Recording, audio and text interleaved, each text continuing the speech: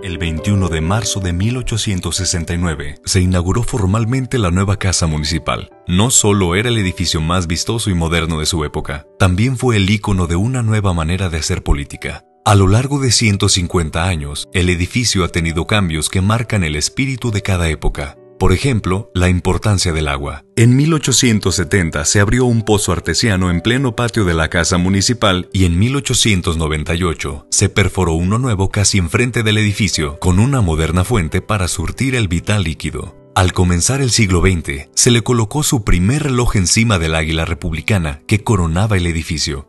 En 1953 se construyó una torre para el nuevo reloj de tres caras, norte, sur y oriente al centro. Lo fabricó José López, relojero de Guanajuato. En su interior, los cambios más notorios ocurrieron en 1939, cuando se techó el patio con una estructura de hierro y vidrio, pero sobre todo, se redecoró la sala de cabildo, incluyendo los retratos de los alcaldes a lo largo de la historia. Se alojó la escultura de bronce de Benito Juárez debajo de la escalinata y en ella, el maestro Jesús Gallardo pintó una serie de murales en alusión a la identidad de la ciudad. 40 años después, el artista leonés regresaría para plasmar en la planta baja su mural, León, Trayectoria y Destino, este mismo edificio ha servido siempre como epicentro de grandes momentos en la ciudad. Esa libertad es la que mantiene a la fecha las puertas abiertas de la Casa Municipal. 150 años después, esta Casa Municipal tiene dos premisas que mantener. Que los hombres y mujeres que aquí sirven sean ejemplo para los demás y que las paredes que la sostienen sean la transparencia, la rendición de cuentas y la convicción imbatible de que el trabajo todo lo vence.